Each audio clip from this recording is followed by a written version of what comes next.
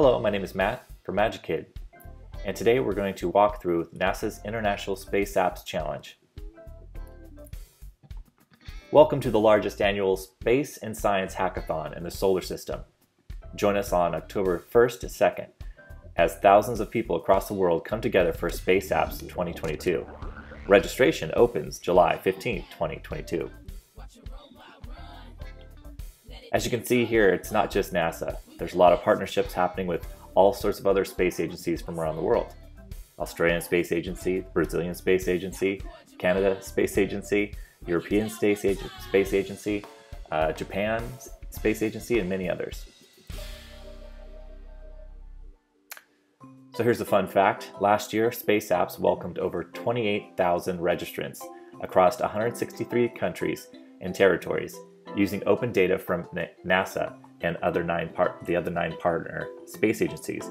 They tackled 28 challenges and produced 2,814 projects. It's amazing. And last year, Magikid hosted uh, one of the locations in Chino Hills and won two global awards. Now, this is amazing. The uh, first one here we'll take a look at is social spacing.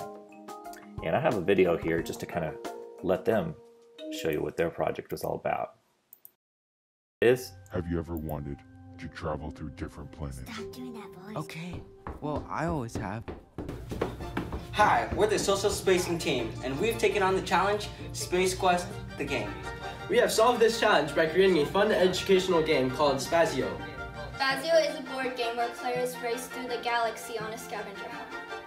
The objective of the game is to be the first to explore and retrieve data from all the planets in the solar system and return to Earth safe. So that was Spazio, their game that they uh, invented. And this one won a global finalist honorable mention, which is amazing. Out of all the different pro- uh, all the different projects submitted by by groups, uh, theirs was a, was one of the top ones. And even more amazing is this next one here.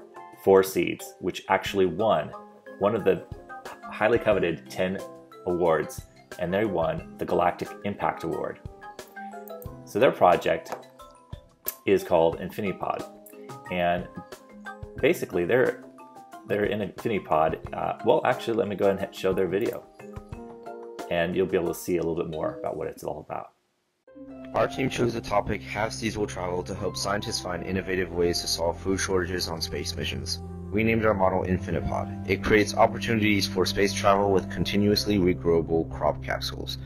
We utilize aeroponics with a compact spray nozzle, including liquid nutrients to nurture our plant of choice, butterhead lettuce. The user may utilize a special folding shelf and UI for easy access to observe or collect the crops. This solution is the future of crop cultivation and compact farming. So amazingly, this project uh, has so many different components to it. I just wanted to kind of note some of the amazing things that they did. So, of course, as you saw, it's all about growing plants in space. And they have, they broke down their idea in a couple different ideas. Uh, reverse osmosis filter, a spray nozzle for the water absorption, and a computerized control interface as they showed in that, uh, in that video, which led to all sorts of different components, as you may have noticed. There were 3D models, and uh, also uh, they had to work on a user interface for the uh, computerized uh, uh, distributor of nutrients for the plants. And uh, it was amazing work that these that, that these these teammates did, and of course, it won them that highest honor. All right.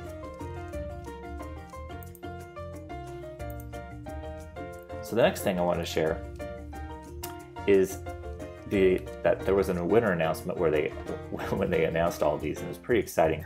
Um, and as you can see, we have a couple of uh, four seed members there, and uh, this winning announcement was from former astronaut Cady Coleman, and it's very exciting to be able to see that live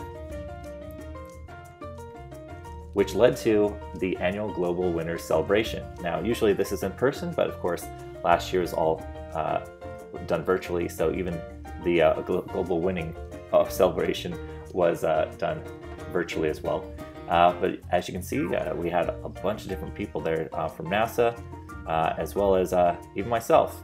There I am, and our CEO, Angel. And this year, Magikid will host in more locations. Not just Chino Hills, of course, we did get that spot once again, but also in Dallas, Irvine, and San Marino. Now let's talk about the timeline. Of course, everything happens on that all important weekend in October, 1st and 2nd. But leading up to that, there's a lot of things that can happen. Uh, first of all, starting in June and, and throughout July and August, you can be learning about things from the past. We'll talk about that in just a little bit. July 15th is when the registration actually begins. The challenges are released in October, and also uh, some of the resources are starting to be released in September. And of course, the event itself. And then that leads us to in November local awards. And then those ones uh, that are the highest out of the local awards are then sent on for global judging, which happens in December, with the global winners being announced in January. So there's some things that you want to keep in mind on how you might want to prepare for this event. Now, of course, there's a lot of things that you can learn beforehand. So one of the first things that Magikid does is we have an entire unit where we learn uh, about previous projects. And that's our first tip, explore winning projects from previous years to understand their problem-solving process. The second additional tip that we have is to build teams with diverse skills such as programming, 3D modeling, research, video production, and more. There's many different types of challenges that are released each year, and we never know what they're going to be.